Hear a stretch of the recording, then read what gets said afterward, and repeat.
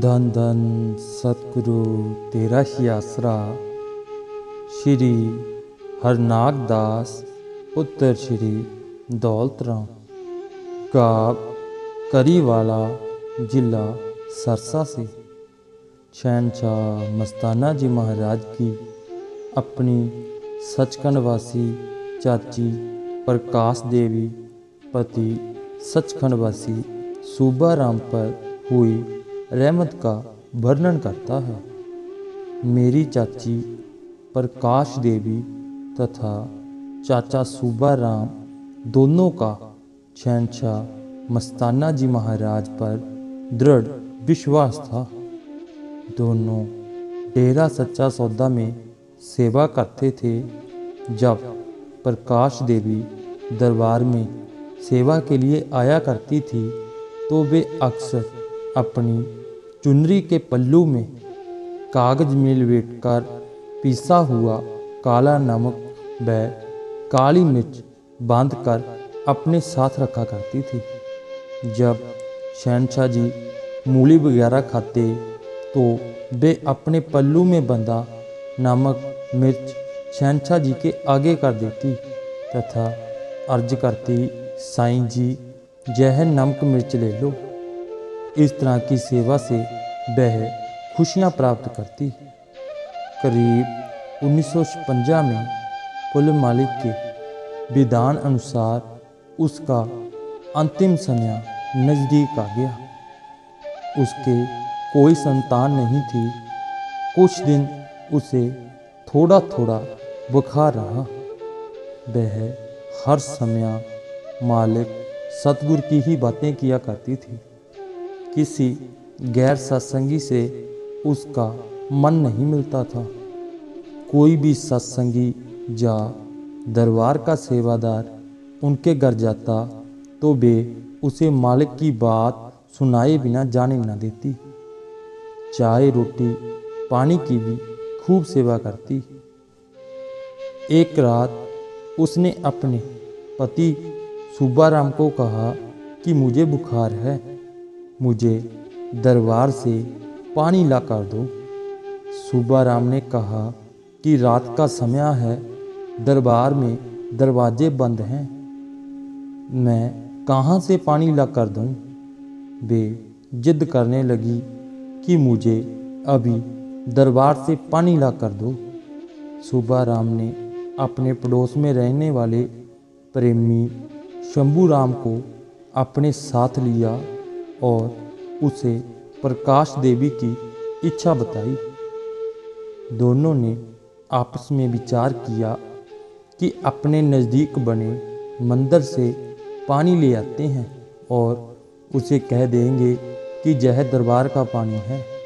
वह मंदिर से पानी लेकर घर पहुँचे तो प्रकाश देवी बोली कि यह दरबार का पानी नहीं है, मैं नहीं पीती तुम मेरे साथ ठगी करते हो। तुम तो दरबार गए ही नहीं, दरबार जाओ, वहाँ से पानी लेकर आओ। उन्होंने प्रकाश देवी को कहा कि दरबार के गेट बंद हैं, हम क्या कर सकते हैं? वह बोली, साईं जी, नीमों के पास खड़े हैं, जाओ, तुम्हें पानी मिल जाएगा। फिर वह दोनों शाह मस्ताना जी धाम में चले गए। उस समय शहनशाह जी नीमों के पास खड़े थे।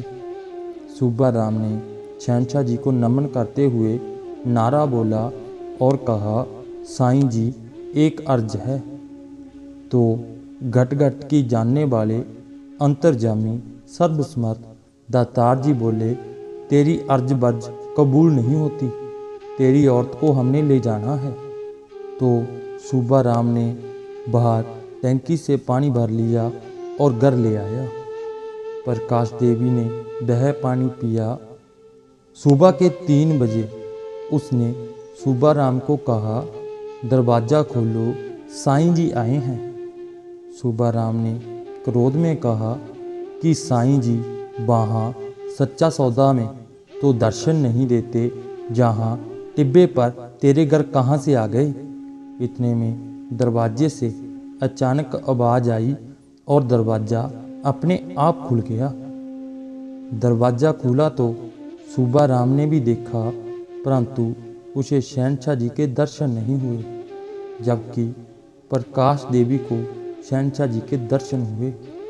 शहनशाह जी ने उसे वचन किया पुत्र तुझे आठ बजे ले जाएँगे।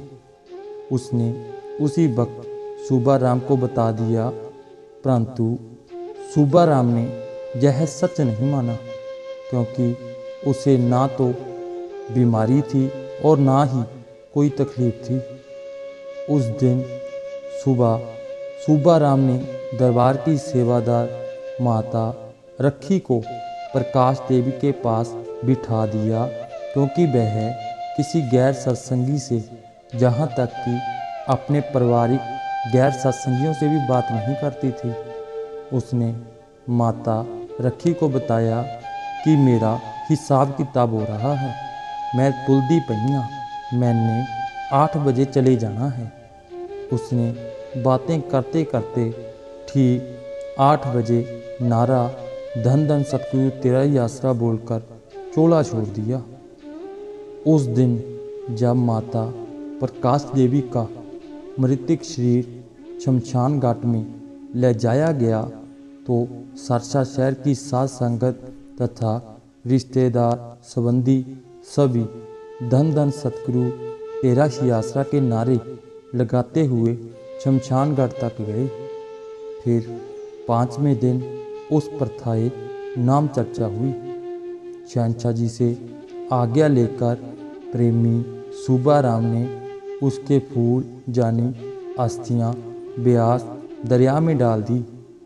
सूबा राम अपनी पत्नी के फूल दरिया में डालने के बाद जब सरसा दरबार में आया तो उस समय शहनशाह जी सेवादारों से सचखंड हाल की बिल्डिंग के पीछे मिट्टी कटवा रहे थे। तो सूबा राम ने शहनशाह जी को नमन करते हुए नारा बोला। शहनशाह जी ने फरमाया, सूबा, तेरी औरत का इतना प्रेम था, वो सीधी सचखंड गई फिर शहनशाह जी ने सभी प्रेमियों को हिदायत देते हुए फरमाया, जब भी कोई सत्संगी चोला छोड़े तो उसके रिश्तेदारों को रोना धोना नहीं चाहिए। सतगुरु के नारे लगाने चाहिए, खुशी मनानी चाहिए कि वह जीव शरीर के बंधनों से मुक्त होकर अपने निज घर गया है। धन धन सतगुरु, तेरा शियासरा धन धन सतगुरु तेरा शियासरा